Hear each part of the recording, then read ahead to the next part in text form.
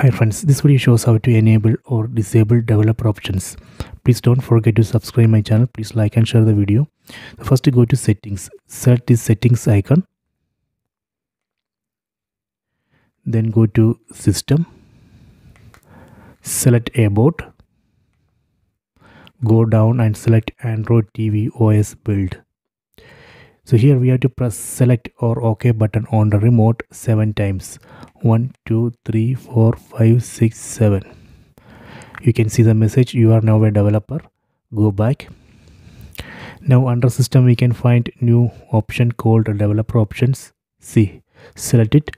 So these are the list of developer options. From this list let me select USB debugging mode. I am going to enable it. Select it then select OK. Done Similarly, we can enable other options in the list. If you want to disable developer options or if you want to disable USB debugging mode, we can select it here and disable C. If you want to disable developer options completely after the use, we can disable here. Done. Then go back. See now under system it is not showing developer options because I have disabled it. So this way we can enable or disable developer options. Please try this.